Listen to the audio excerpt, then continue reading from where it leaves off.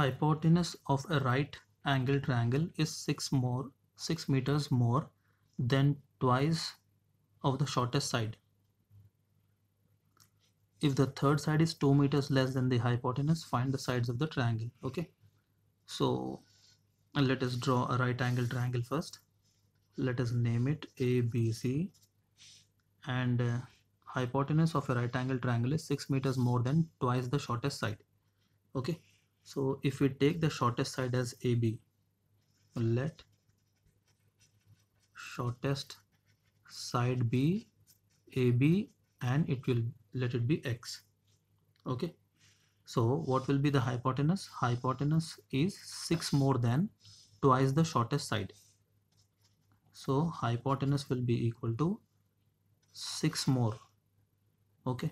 6 more means plus 6 then twice the shortest side. Shortest side is x twice will be 2x so hypotenuse is 2x plus 6 so this is 2x plus 6 if the third side that means this BC is 2 meters less than the hypotenuse. Hypotenuse now is 2x plus 6 right? So BC will be equal to 2x plus 6 but it is 2 less. That means minus 2 so 2x plus 6 minus 2 will give us 2x plus 4 so this is 2x plus 4 we should find the sides of the triangle. If we if we can find the value of x and substitute it here we'll get all three sides right? So apply Pythagoras theorem here because we it is a right angle triangle. So 2x plus 6 whole square hypotenuse square will be equal to sum of the squares of the other two sides right? X square plus 2x plus 4 whole square. Okay. Now use a plus b whole square formula here. A square plus 2 into a into b plus b square is equal to this is x square plus use a plus b whole square formula again here. A square plus 2 into a into b plus b square. All right. Hmm. let us simplify this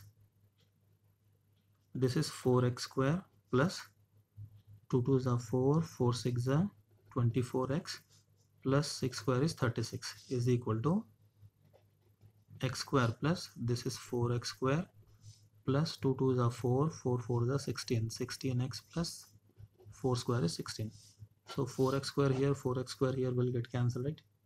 And uh, let us take these two sides on the other these two terms on the other side 0 will be equal to x square plus 16x plus 16 minus 24x minus 36 so 0 is equal to x square plus 16 minus 24 will give us minus 8x and plus 16 minus 36 will give us minus 20 so we have x square minus 8x minus 20 is equal to 0 all right? So we got quadratic equation now right let us simplify this equation. Uh, the factors of 20 are 10 and 2 right? So how can we write 10 and 2 to get minus 8 minus 10 plus 2 all right so we have x square minus 10x plus 2x minus 20 is equal to 0 we are factorizing or splitting the middle term right? So from these two terms take x common x minus 10 from these two terms also we can take x minus 10 from these two terms you can take 2 common right? So this is plus and this is x minus 10 and x plus 2 is equal to 0 x minus 10 is equal to 0 and x plus 2 is equal to 0 x is minus 2 and x is 10 x is side right? Ab is x. So x cannot be negative.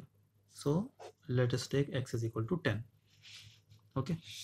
So we have ab ab is was equal to x right?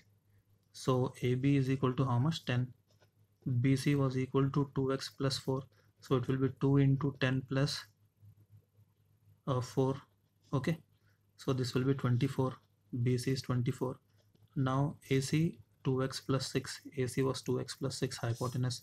So it is 2 into 10 plus 6 so it is 26 okay so 26 24 and 10 are the sides. Okay